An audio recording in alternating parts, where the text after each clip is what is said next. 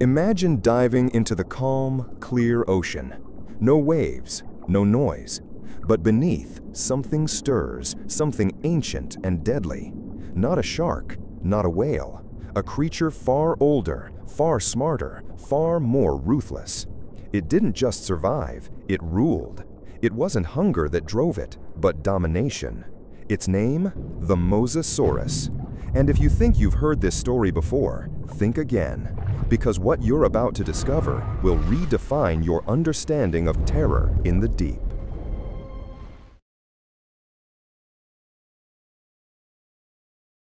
Long ago, the ocean wasn't a sanctuary. Entering its waters meant stepping into the hunting ground of unseen killers. Within moments, the food chain was reversed. The tranquil surface hid a realm where death lurked in every shadow. And among all the monstrous beings that roamed these depths, one reigned supreme, the Mosasaurus. It didn't hunt for food, it hunted for dominance. It didn't prowl, it patrolled. Unlike other predators like Pliosaurus or early sharks, it didn't rely on brute force alone. It had strategy, precision, terrifying intelligence.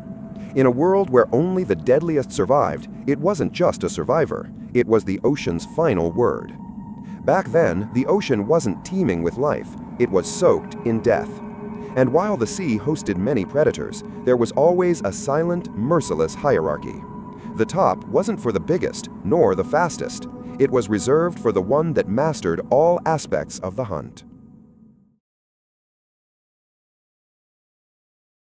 The Cretaceous seas were evolutionary workshops crafting killers. Only two fates awaited the creatures below. Become faster, smarter, more efficient, or perish.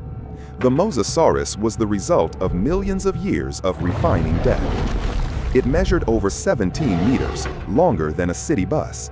Its body resembled a mix of sea serpent and crocodile, designed not to swim, but to launch. Its powerful, finned tail functioned like a living torpedo. Its jaws, built to crush. Its teeth, hooked backward, locking prey inside. But its weapons weren't just physical.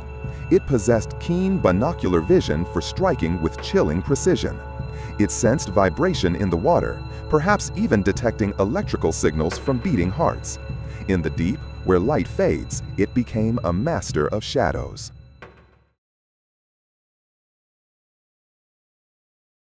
What made the Mosasaurus truly terrifying wasn't its size, it was its silence. It didn't charge blindly, it stalked, calculated, waited. It used the ocean as a cloak, its shadows as weapons. In regions where no sunlight reached, the Mosasaurus waited like a phantom. When it struck, it was a blur of violence. It didn't chase, it ambushed. From below, from angles no prey could predict. One snap of its jaws and it was over before the victim realized it was even being hunted. Fossil evidence reveals its legacy. Turtle shells broken, shark spines shattered, bones with bite marks so deep only one creature could have done it. Other mosasaurs weren't safe either. Cannibalism wasn't off the table. Its neck could twist with incredible agility, giving it an edge over slower giants. Its skin, thick yet flexible, protected it in battle without reducing its speed. And its eyes, cold, calculating, unblinking. This was not a creature of impulse. It was a strategist, a ghost beneath the waves.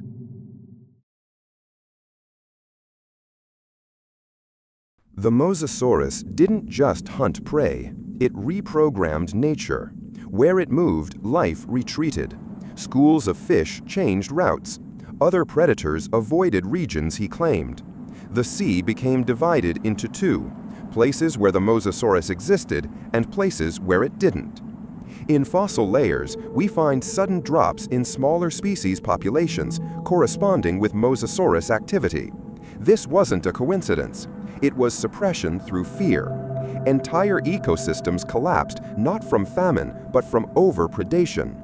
Species evolved defenses just to avoid detection, camouflage, speed bursts, and tighter schooling. Evolution took shortcuts driven by survival panic. Even apex predators like sharks and Pliosaurus adapted their behaviors. Its presence was a force of nature, like a storm that never passed. It didn't dominate through numbers, It did so through effect. Just knowing it might be near was enough to send tremors through the marine web of life.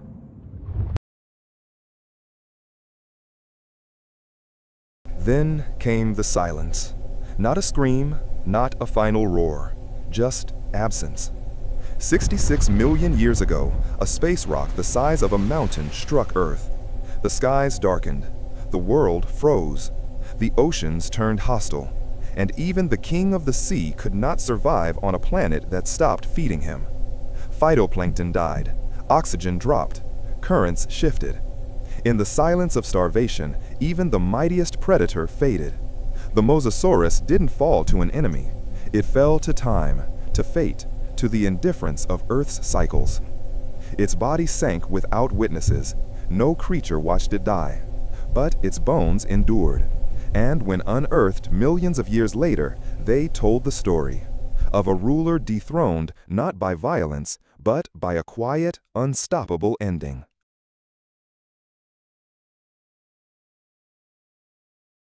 The Mosasaurus vanished, but its legacy lingers. In bones, in stone, in the silence of the sea. Evolution remembers, and maybe the ocean does too. Because if something so perfect once existed, who's to say it can't again? Perhaps in the depths, where light never reaches, something still waits. A heartbeat in the dark, a shadow that never fully faded. The sea doesn't forget. It watches.